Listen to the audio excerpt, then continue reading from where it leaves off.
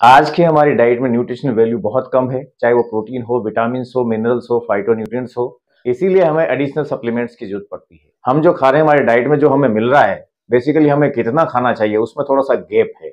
What should be eat and what do be eat there is a nutrition gap basically nutrition gap को fulfil करने के लिए हमें supplements की ज़रूरत पड़ती है। सप्लीमेंट्स मार्केट में तीन तरह के अवेलेबल है।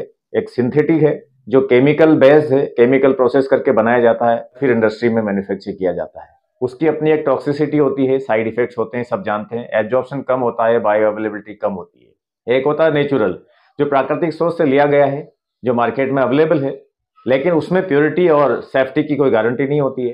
केमिकल हो सकता है पेस्टिसाइड्स का भी केमिकल हो सकता है, किसी भी तरह का केमिकल हो सकता है। अच्छे हैं, लेकिन सबसे बढ़िया नहीं है।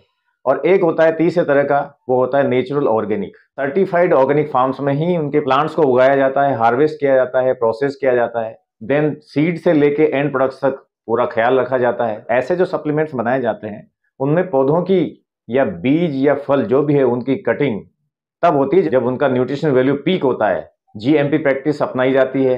The council for responsible nutrition का टैग लगा होता है। प्योरिटी सेफ्टी एंड पोटेंशियल की गारंटी होती है। ऐसे सप्लीमेंट्स की बायो अवेलेबिलिटी बहुत अच्छी होती है एब्जॉर्प्शन बहुत अच्छा होता है। विदाउट एनी साइड इफ़ेक्ट हमें मैक्सिमम बेनिफिट्स मिलते हैं। तो नेचुरल ऑर्गेनिक सप्लीमेंट्स ही लेना चाहिए।